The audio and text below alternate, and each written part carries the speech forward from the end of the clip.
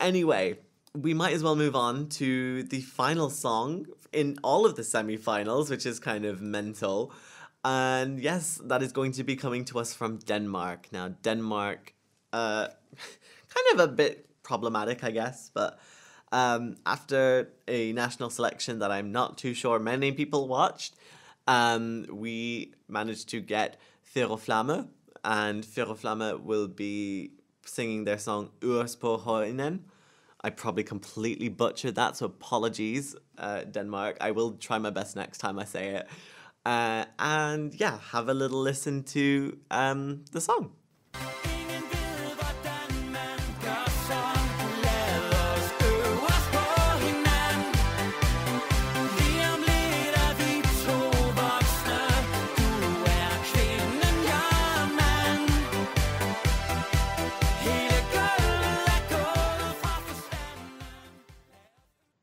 When I found out this was closing the semi-final, you should you should have all just seen my face. Like my jaw was on the floor. Like, um, this is one of those songs. It's just really hard to comment on. I like the eighties, nineties vibe that it seems to have. Um, they need like I think like, me and Rosie actually spoke about this song when we met up on Wednesday. Uh, they need to tell it more live for this to do anything in the semi. But obviously, they must have some plans for staging because why would the producers put this as a closer if they didn't?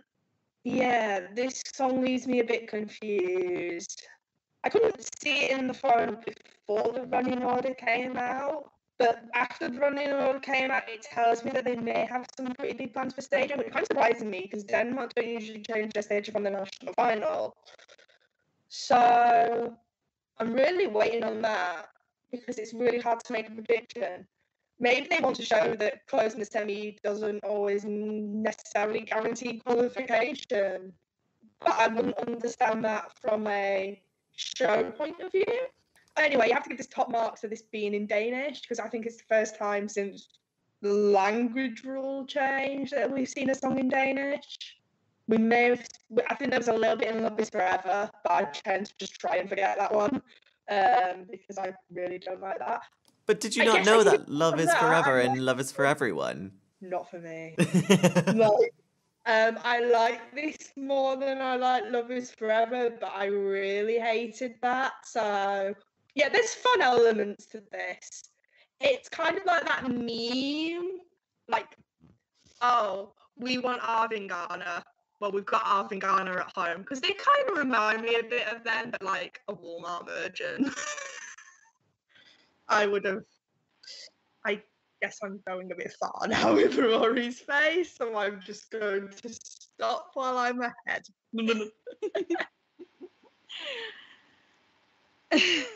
God. Um, so yeah, I prefer Love is Forever over this. But also I quite like Love is Forever, so I never said I had good taste, okay? I think what they really need to do with this is to really improve the staging. Because when they performed it in DMGP, they were sort of stood on two little circles seven feet away from each other, which great for social distancing, not so great for giving some sort of cohesive, enjoyable performance.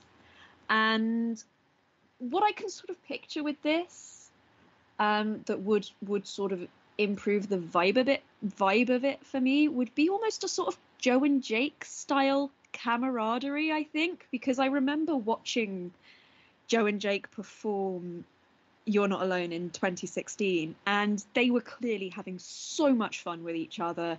They were smiling with each other, they were happy, they were jumping up and down, they were coordinated with one another, they were really connected with one another, but also to the audience. And I feel like that's what this song needs because what was missing in the DMGP performance was that sense of fun that I think this song really does need. At the moment, for me, this song anytime it comes on on my when I've when I've got the whole sort of list of songs for the year playing, I always have to take a moment to actually remember which song it is. it's really not left a particularly strong impression on me. And when it's on and it's playing, it's fun. But there there are ten better songs at least in this semi. Um, could this qualify? Sure. Do I think it should qualify over the songs that are in the semi? Not completely convinced. I like it, but it doesn't stick. I think um, I think I'm gonna just gonna join everyone else in saying I was not expecting this to even cons- be considered to be closing the semi final, and then when we found out that it actually was going to be the closer for the semi final, we were like, "What? what?"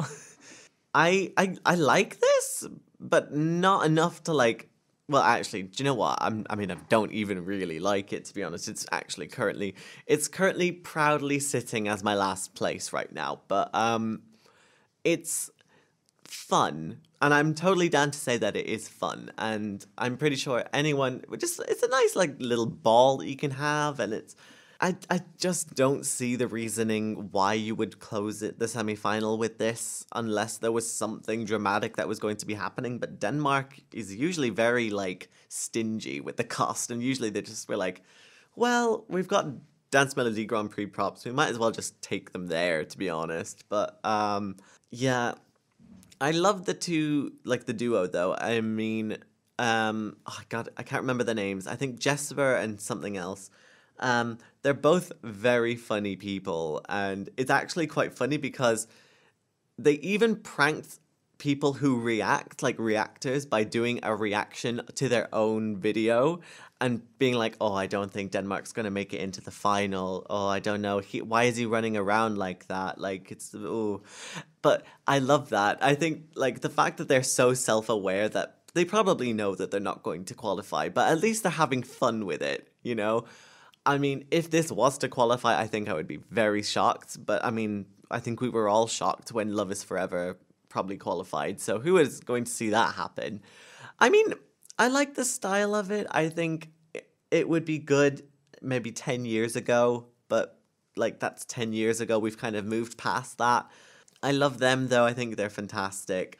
Yeah, I'm just wondering why they just didn't decide to send Ståle here. Because at least with Ståle here, it was like a little bit more contemporary, but uh, we're not going to talk about that.